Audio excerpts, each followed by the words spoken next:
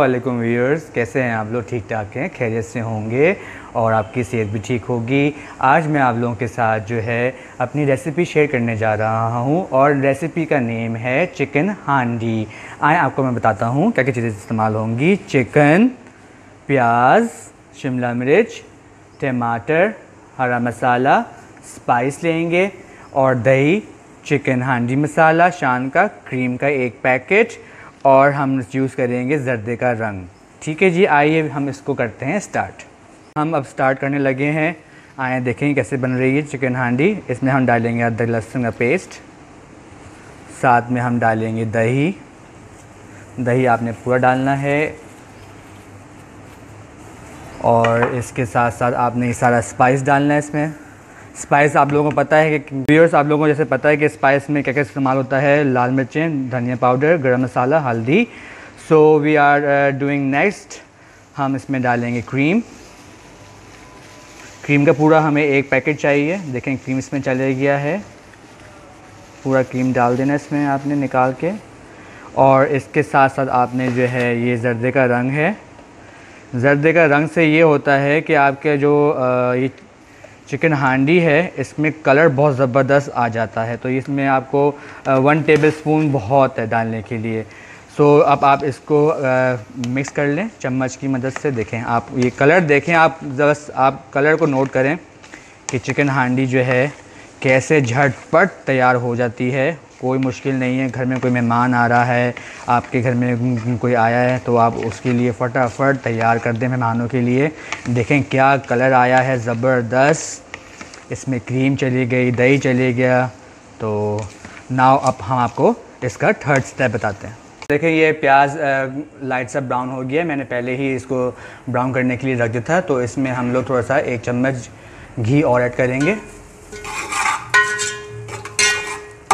देखें, ये हल्की सी लाइट ब्राउन है और थोड़ी सी कच्ची भी है। और जैसे कि व्यूअर्स आपको बताया था कि हमने लिक्विड तैयार कर लिया था तो आपने ये लिक्विड जो है इसके अंदर डालना है। देखें, सारा लिक्विड इसमें चले गया है। सारा मसाला, ये देखें, मैंने इसमें डाल चुका हूँ पतीली के अंदर। और इसको मैं जो हूँ अच्छे से भूनूँगा। ये देखें। इसको मैं ऐसे भूनूँगा। ये आप देख रहे होंगे कि इसका कलर कितना ज़बरदस्त आ रहा है। ये सिर्फ़ कलर जो है, जर्दे के रंग से आता है और बहुत लोगों को कम पता होता है कि जर्दे का रंग किस लिए इस्तेमाल होता है और कैसे इस्तेमाल होता है। तो देखिए ये आप कलर देखें, माशाल्लाह से। क्या ज़बरदस्त चिकन हांडी बन गई है। खुशबू बड़ी प्यारी आ रही है व्यूअर्स यमी यो मुझे तो बहुत पानी आ रहा है अभी से ही मुँह में। तो अब ये जो है फाइनली हो रही है। तो अब आपको हम आगे का प्रोसेस दिखाते हैं थैंक ये सारा मैंने जो इसमें मसाला डाला था स्पाइस डाला था शुरू में। तो वो जो है, सारा मिक्स हो चुका है। अब मैं, अब क्या करने लगा हूँ? आप लोगों को एक बेहतरीन तरीका बताने लगा हूँ। आप लोग भी इसी तरह बनाएगा।